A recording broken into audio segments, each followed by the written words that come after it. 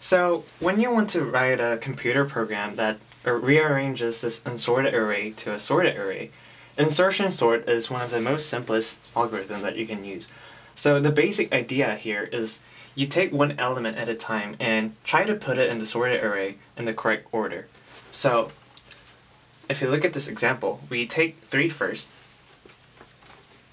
and since nothing, there's nothing in here yet, we just put it in the first place. And now we take 1. And we try to compare it to one, 3. And since 3 is bigger than 1, you move it to the right side and then put 1 here. Now, we take 5. And we always start from the first element. We compare it to 1, and since 5 is bigger than 1, we move it to the next place. And it's also bigger than 3, so you put it here. Now, we take 4, compare it to 1, 4 is bigger than 1. Now compare it to 3. It's also bigger than 3. Ah.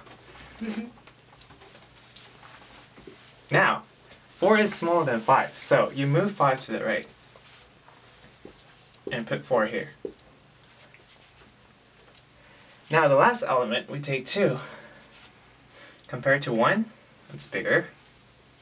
And 3, it's smaller than 3. So now we have to move 5 to here, and then 4 to here,